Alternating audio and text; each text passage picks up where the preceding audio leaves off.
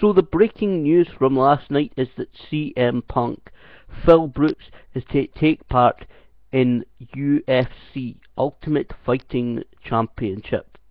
Now, for those who may not know a little bit too much really about UFC, well, firstly, it's very real fighting. It's not predetermined like professional wrestling.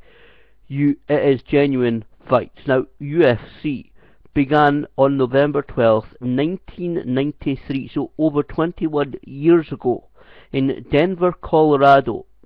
November 12, 1993 saw a truly mixed martial arts tournament. Although similar tournaments were going on elsewhere in the world, the UFC certainly revolutionized and really brought to life the world of mixed martial arts. On that day in November 1993, it was an eight-man tournament, eight participants from eight different disciplines of martial arts.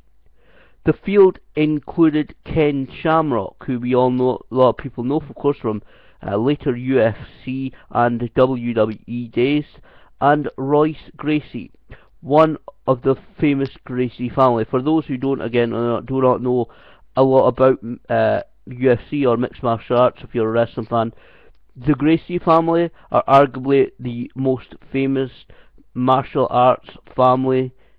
It, they are like the Hart family uh, when it comes to professional wrestling. The Hart family, the Guerrero family, they're really instrumental in changing uh, not only jiu-jitsu and judo, but mixed martial arts. In fact, Royce Gracie would actually win the first two UFC tournaments for in the early stages of UFC.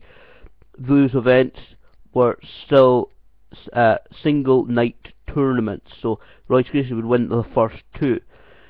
Now, getting to CM Punk. Now, CM Punk made his appearance, as I said last night, um, at UFC, where UFC uh, made the announcement that he had signed a multi-fight deal.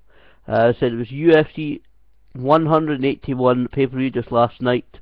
Uh, CM Punk said in his statement, "This is my new career, 100%. I'm going to go full steam ahead." all systems go after today, and it's going to be fun.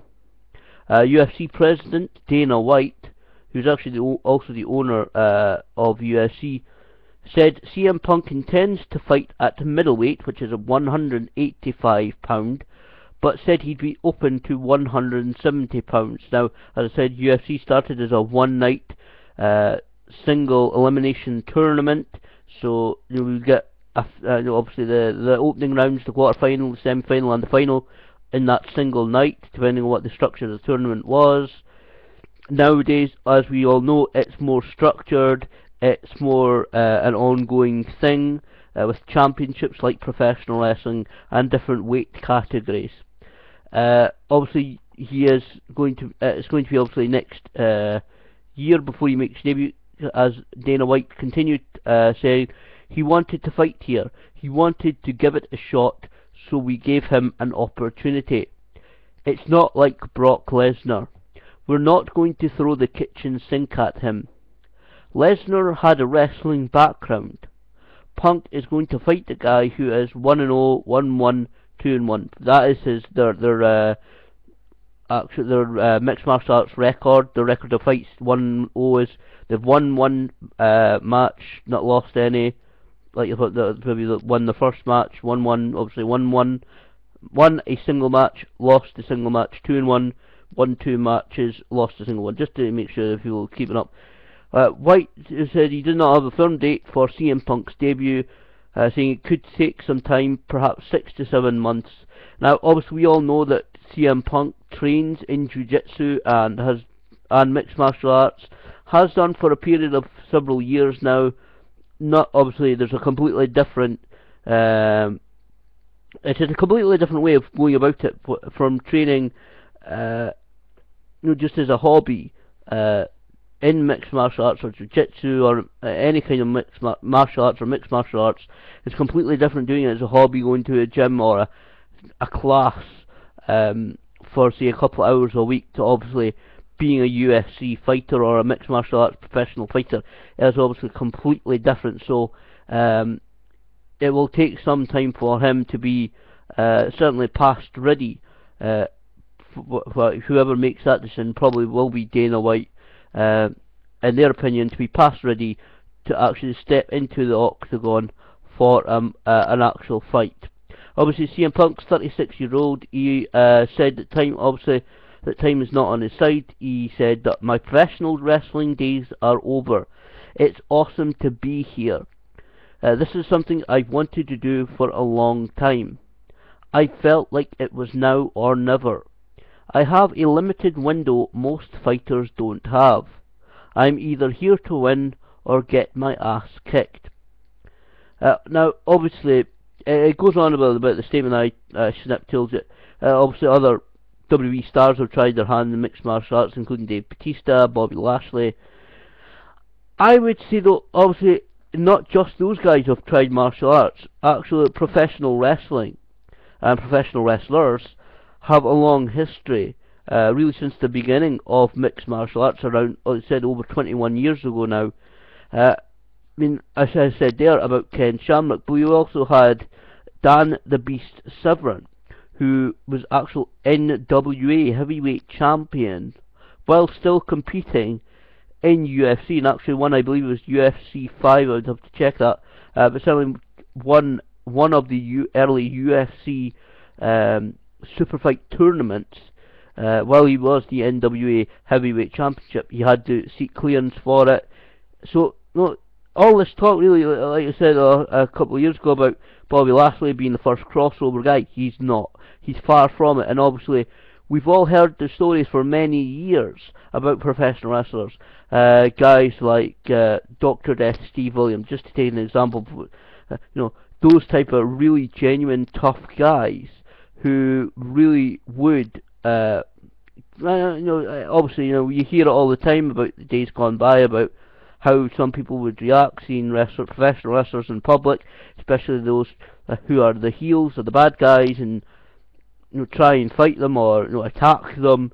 You know, we know that there's been many genuine tough guys, many genuine guys in professional wrestling who could actually take care of themselves in a real fight and it has been something discussed for many years that you know if UFC was around the way it is today in mixed martial arts, would we see these guys actually be a professional wrestler, or would they have stepped in the octagon or the cages that obviously are kind of taken off the octagon that uh, many uh, companies all around the world have these days? Would we have seen them even become professional wrestlers, or would we have just known them uh, for mixed martial arts. It's a question obviously unanswered, unfortunately, for so many of the guys. Uh, so it's going to be really good to see CM Punk actually step into the octagon. Uh, it would be great. Obviously, it's a great attraction, a great crossover. A lot of wrestling fans are also UFC fans, or will certainly be interested in looking forward and wanting to buy the pay-per-view to see CM Punk uh, fight in the octagon. So obviously the big question there is who will he fight? What is their background? What is their record? How good are they really?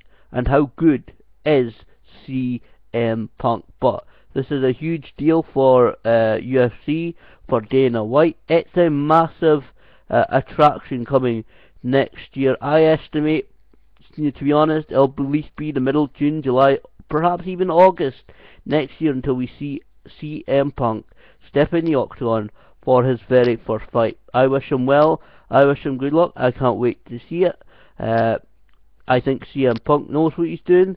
He's got a limited window, as he said, uh, and he has suffered the many bumps, uh, the many years of bumps of professional wrestling. So we'll see. I'm sure he would not do that, and as I said, he will not be cleared uh, until UFC uh, seriously, genuinely think because although you know UFC in those early days uh, was very uh, undisciplined in fact it was you know banned in a lot of uh, states in the United States of America. Colorado was one of the few places they could actually hold the very first UFC event. These days it's much more disciplined. there's much more care taken over.